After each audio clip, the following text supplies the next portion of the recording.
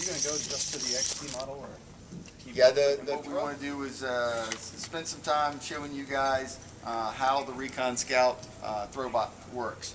Uh, we have uh, two different variants here uh, that we're going to go through. Uh, we're going to start with the one that is probably uh, the most deployed. Um, this is the Recon Scout XT.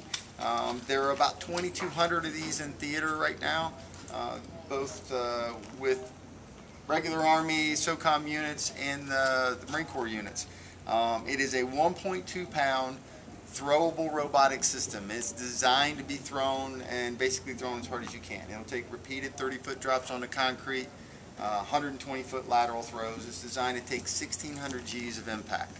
Um, it has a camera here on the front, uh, an infrared illuminator right across the top. If it goes into a room that's too dark for the camera, it senses that with a sensor, it automatically turns that on. You don't have to do anything for that.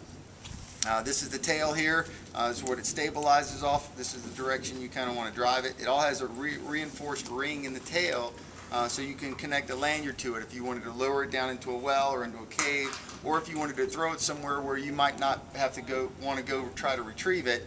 Uh, it allows you that uh, capability. The controller is a 1.8 pound uh, controller and it is um, gives us a total system weight of three pounds. Uh, so we're, I think we're by far the lightest uh, robotic system uh, that's being used right now. So to employ the robot, you simply just pull the pin. You, uh, in this particular one, in order for it to have its water and dust resistance, you actually have to plug it up.